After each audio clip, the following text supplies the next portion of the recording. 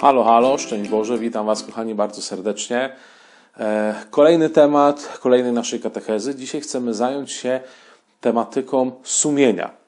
E, to jest bardzo, bardzo ciekawy temat, który dotyczy właśnie naszego chrześcijańskiego życia, a który jest związany jakby z kilkoma jakby szerszymi rzeczami.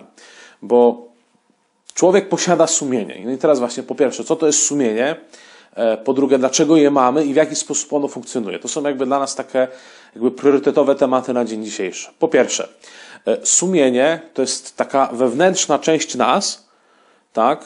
Tutaj oczywiście w katechizmie Kościoła katolickiego mówimy, że to jest takie wewnętrzne sanktuarium spotkania się Boga i człowieka.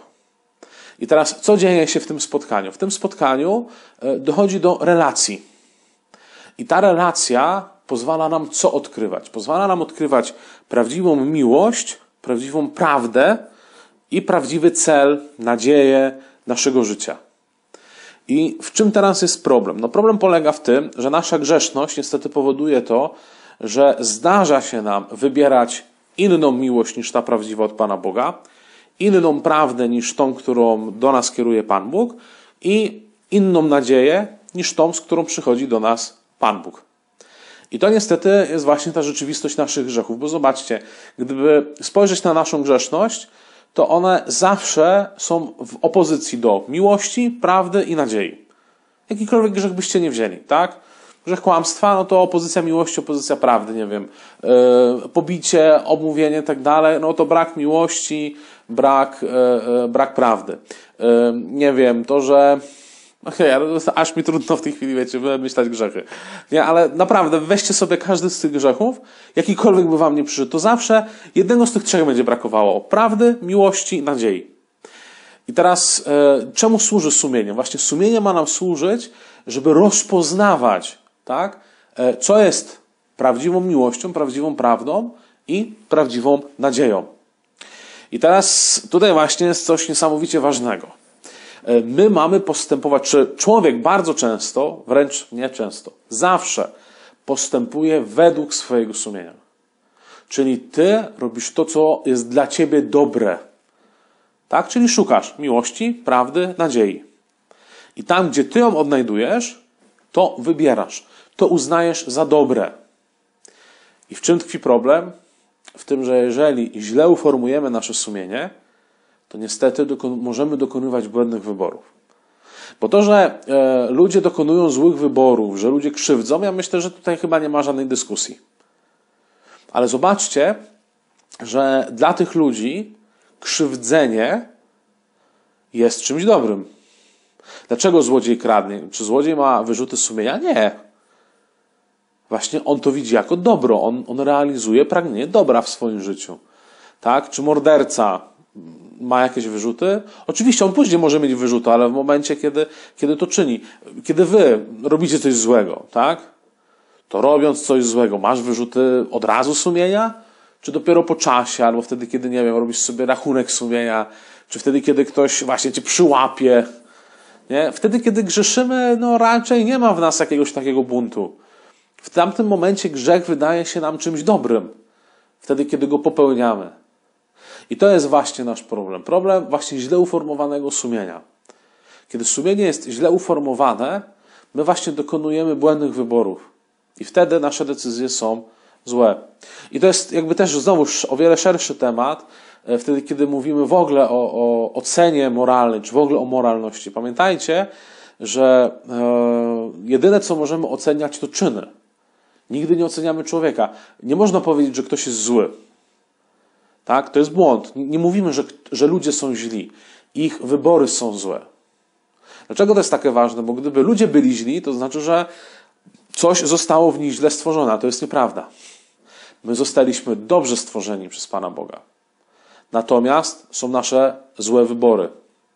E, jest zła nasza wolna wola. Tak? Ona, do, ona może dokonywać właśnie błędnych wyborów. To jest problem. Właśnie każdy z nas jest wezwany do tego, żeby swoje sumienie formować. My musimy zadbać o to, żeby nasze sumienie było dobrze uformowane. Więc czego nam potrzeba? Po pierwsze, potrzeba nam właśnie relacji z Panem Bogiem, czyli tutaj kłania się całe życie duchowe. Ja muszę spotykać się z tym, który mnie stworzył, muszę się spotykać z tym, który stworzył cały świat, który to wszystko uporządkował. Związku z tym relacja z nim jest bardzo wskazana. No a żeby była relacja, to potrzeba i modlitwy osobistej, potrzeba sakramentów, potrzeba nam życia duchowego. Druga rzecz to jest to, żeby poznawać prawdy objawione, żeby właśnie sięgać do tego Pisma Świętego, sięgać do katechizmu, po to, żeby rozumieć, dlaczego ja mam coś czynić, bo wiecie, największy problem jest nie tylko w tym, że my nie umiemy praw, tak, ale w tym, że my nie rozumiemy, dlaczego mamy tak postępować. Bo są oczywiście prawa ludzkie, które porządkują nasze funkcjonowanie w społeczeństwie, w świecie, we wspólnocie, ale właśnie są prawa, które otrzymujemy od Pana Boga, prawo boskie. I my teraz musimy zrozumieć, jeżeli właśnie nie widzimy sensu, to my warto właśnie, żebyśmy się zastanawiali, po co mamy tak czynić. Dlaczego Pan Bóg właśnie wskazuje nam, że to należy czynić, a tego należy unikać. I to jest coś niesamowicie wa wa wartościowego, żeby na to właśnie poświęcić czas. Zastanowić się właśnie, po co ja mam coś robić, albo dlaczego mam czegoś unikać. No i oczywiście rzecz tutaj niesamowicie ważna, no to jest właśnie to ciągłe stawanie w prawdzie. E, czyli tutaj kłania się przede wszystkim nam sakrament pokuty i pojednania, no ale właśnie też ta praktyka rachunku sumienia. E, poprawnie, dobra praktyka rachunku sumienia dotyczy naszego każdego dnia. My codziennie powinniśmy robić rachunek sumienia, codziennie podsumować sobie, czy to, co zrobiłem dla Pana Boga, czy jakby w Jego oczach jest dobre czy złe. E, jeżeli wybierałem zło, to właśnie dlaczego? Z powodu moich wad, czy dlatego, że ja jestem przekonany, że to warto robić? Czasami jak penitenci przychodzą do spowiedzi, e, czasami kiedy rozmawiam z nimi, e, to właśnie zadaję to pytanie: Słuchaj, ty chcesz się, chcesz się zmienić? Czy ty po prostu wyznajesz grzechy, bo, bo to jest grzech i tak powiedział Pan Bóg? To wierzcie mi, czasami padają różne odpowiedzi. Czasami ludzie nie chcą się zmienić uważają, że to, co zrobili, było świetne. Tak? Ale no właśnie, czy o to w tym chodzi? Więc tutaj pewnie warto nam właśnie dobrze formować swoje sumienie. I teraz e, źle uformowane sumienie będzie niestety powodowało to, że będziemy mieli do czynienia z takimi no, dwiema jakby skrajnymi postawami, które no niestety bardzo mocno utrudniają codzienne życie. E, będziemy mieli tak zwane sumienie skrupulante, tak, czyli skrupulanckie sumienie i będziemy mieli tak zwane sumienie szerokie. I teraz, co to jest sumienie skrupulanta? Sumienie skrupulanta to jest sumienie, które we wszystkim tak naprawdę, w najmniejszym przewinieniu doszukuje się ogromnej winy. Czyli na przykład ktoś powiedzmy wziął sobie pineskę z zakładu pracy i on uważa, że dokonał kradzieży. I z powodu tej kradzieży on już nie dostanie się do nieba, bo wziął pineskę. Tak? Albo na przykład, nie wiem, ktoś poszedł sobie, na, śpieszył się na autobus i nie szedł chodnikiem, tylko zrobił sobie skróty przez trawnik, przebieg przez trawnik i po prostu, wiecie, takim ostatnim rzutem wskoczył do autobusu. No, ale dla niego jest problem, bo podeptał trawnik, a była tabliczka, nie wolno deptać trawy.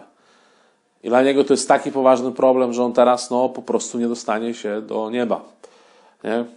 Albo na przykład, że ktoś e, odmawiał różaniec święty nie na różańcu, takim wiecie całym, o tutaj mam na stoliku, ktoś nie modlił się na takim różańcu, tylko na przykład takiej dziesiątce różańcowej, nie? Są też takie, nie? Żeby łatwiej było w kieszeń schować czy coś i uważa, że to obraża Matkę Bożą e, i modlitwę różańcową, nie?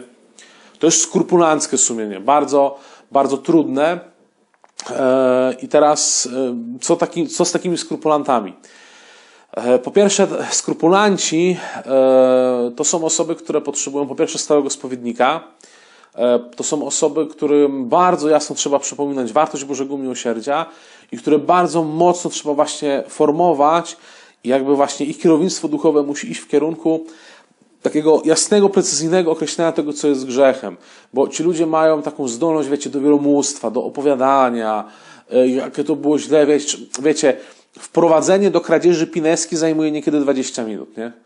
On opowiada, że on rano wstał, co on robił, cała droga do pracy, kogo on w pracy widział i on ukradł Pineskę i on wtedy jak on wracał do domu, jakie myśli mu to weszły. Tak straszne, to jest, e, wierzcie mi, to nie jest tylko problem e, słuchania tego, ale to jest ogromny problem tej osoby, tak? Osoby skrupula, skrupulanci bardzo mocno mo, mo, męczą się ze sobą. To jest straszne doświadczenie, wiecie, takiego ciągłego poczucia, że jesteś kimś złym, że, że nie zasłużysz na niebo, że będziesz potępiony. E, straszne to jest. Więc tutaj naprawdę, naprawdę osobom, którzy mają takie sumienie, skrupulanckie sumienie, a wierzcie mi, w waszym wieku też już pojawiają się ludzie, którzy takie sumienie posiadają, na pewno trzeba, trzeba im pomagać. No i teraz druga skrajność, jakby w drugą stronę, to jest sumienie szerokie, tak? Czyli faktycznie tak bardzo ktoś zaniedbał swoje sumienie, przyzwyczaił się do grzechów, uznał je za coś normalnego, że dosłownie, wiecie, spalenie połowy miasta, zgwałcenie wszystkich kobiet, e, kradzież miliarda złotych, no to no może coś złego zrobiłem, nie? To jest takie naprawdę mega, mega jakby niewidzenie tego, tego co jest grzechem. I teraz E, jaki tutaj się pojawia problem? No tutaj się pojawia problem, że e, taka osoba po prostu przyzwyczaiła się, jakby uznała grzech za coś normalnego. Ona nie ma zdolności rozeznawania pomiędzy dobrem a pomiędzy złem. Dobre jest tylko to, co jest dla mnie dobre. I tyle, tak? Bardzo często u takich osób liczy się jakby no e, argument siły. Ten, kto jest mocniejszy, ma mocniejszy argument. Koniec, kropka. Jesteś silniejszy, no to jesteś lepszy. I tyle. Więc to jest też taka postawa, która jest dosyć, dosyć niebezpieczna.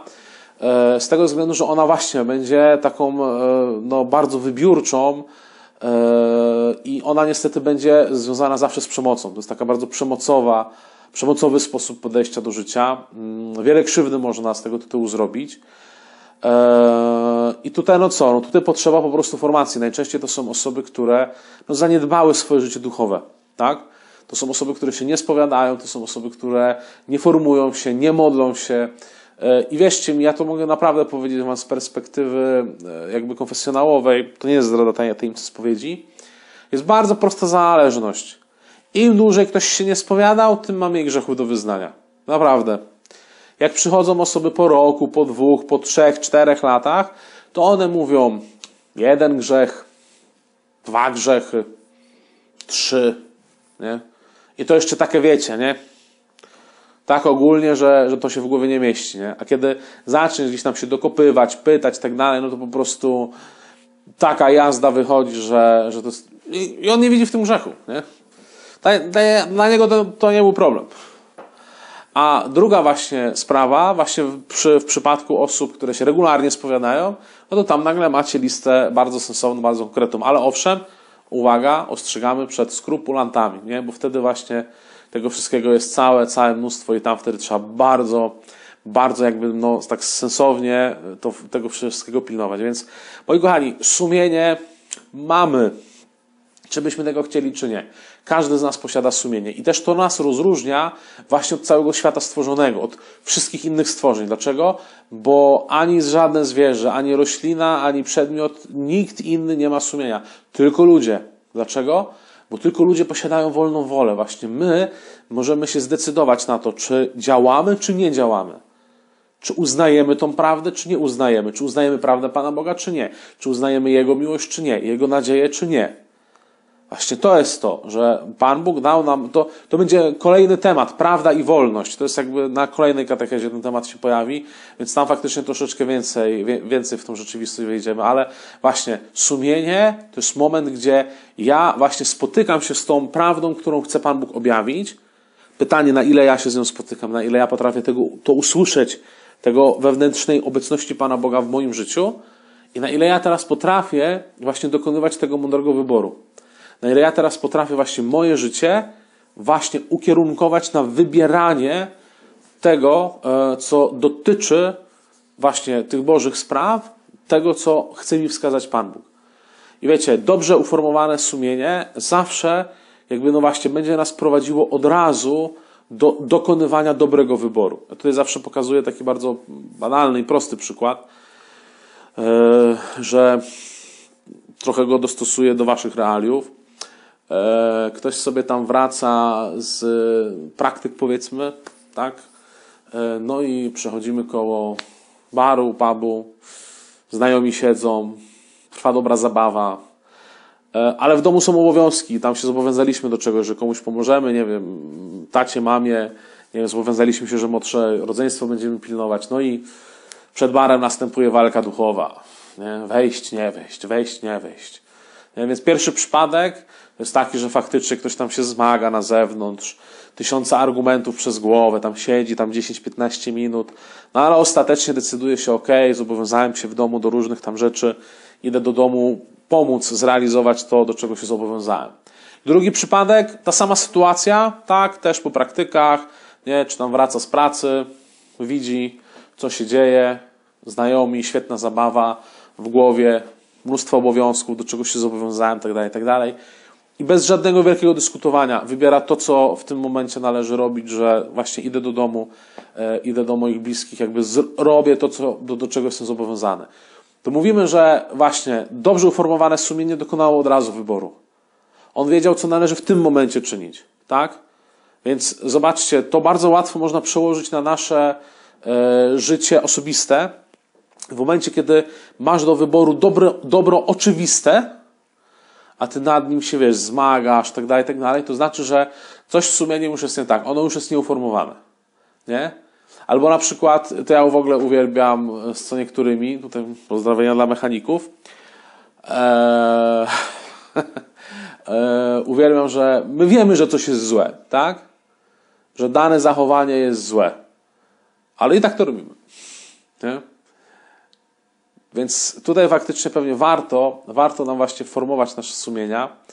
Warto e, zastanowić się, w jaki sposób właśnie zadbamy o to, żeby ono było dobrze uformowane, po to, żeby dokonywało ono także właśnie w życiu tych dobrych wyborów. Więc kochani, wszystkiego dobrego dla Was na ten czas. Życzę Wam właśnie dobrego formowania Waszych sumień. Warto przyjrzeć się różnego rodzaju rachunkom sumienia, tego jest całe mnóstwo. Warto może właśnie spróbować też na następną spowiedź świętą sobie zrobić porządny rachunek sumienia i właśnie przyglądać się też tej rzeczywistości, na ile ja zmieniam siebie, na ile ja e, właśnie dzięki takiemu postępowaniu, dzięki takiemu rachunkowi sumienia zmieniam e, siebie na lepsze. Właśnie kształtuję siebie w takich bardziej dobrych postawach, do których zapraszam mnie Pan. Na ten moment wszystkiego dobrego dla Was, kochani. Pozdrawiam Was serdecznie. Wszystkiego dobrego i do zobaczenia. Z Bogiem.